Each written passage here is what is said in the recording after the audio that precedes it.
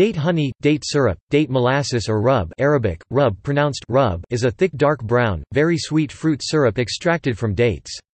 It is widely used in North African and Middle Eastern cooking. It is used widely in Libya, usually with asida.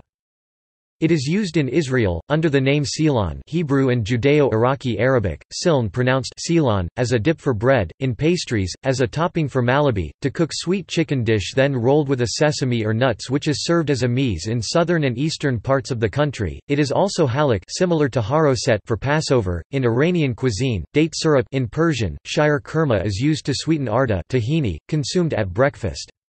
An alternative is grape syrup. Date syrup is rich in the monosaccharides glucose and fructose, and so most of its sugar content is absorbed into the bloodstream in the mouth, meaning that it raises the blood glucose levels more efficiently and immediately than other syrups.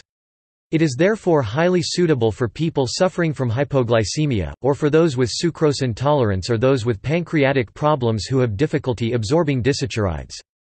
Date syrup is higher in magnesium and potassium than some natural sweeteners such as maple syrup and honey and so has been a popular alternative to sugar in recent years.